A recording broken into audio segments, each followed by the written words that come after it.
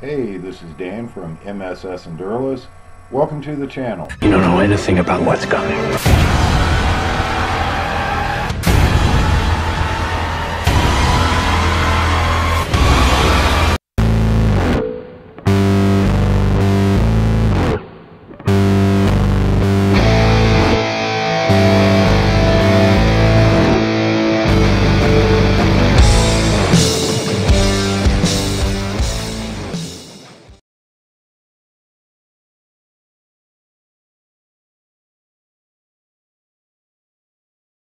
Hey, this is Dan from MSS Endureless. This is a basic first aid course video that I have, and I wanted to share it and see what you guys thought before I break it up and put it into a whole bunch of parts. So let me know in the comments below. So this is Dan, and I hope you guys enjoy the video. Accidents happen. It's a fact of life. Are you prepared to be a first responder? To provide emergency first aid until professional help arrives or until you can get the victim to the hospital.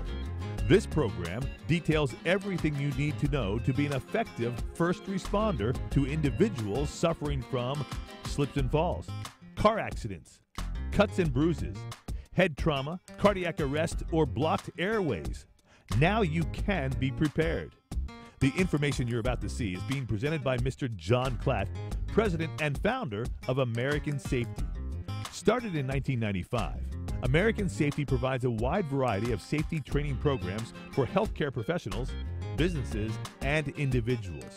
Additionally, Mr. Klatt trains United States military personnel in the latest first aid and tactical first responder techniques and has traveled in this capacity to the Middle East on several occasions. Now, it is my honor to present to you Mr. John Klatt with Basic First Aid.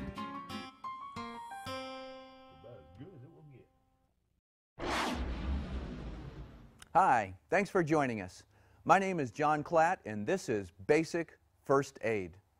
Every day, tens of thousands of people are injured, even killed, around the home, at work, or at play. And emergency medical services may be minutes, even hours away. The steps that a first responder takes in those first few moments may mean the difference between life and death. In this video today, we're going to show you how to provide first aid for illnesses and accidents. And we're going to give you some first aid tips to help you stay safe if you are a first responder. But first, are you at legal obligation to help someone? Every state has Good Samaritan laws. Good Samaritan laws are laws that protect you in, in the steps that you take as a first responder.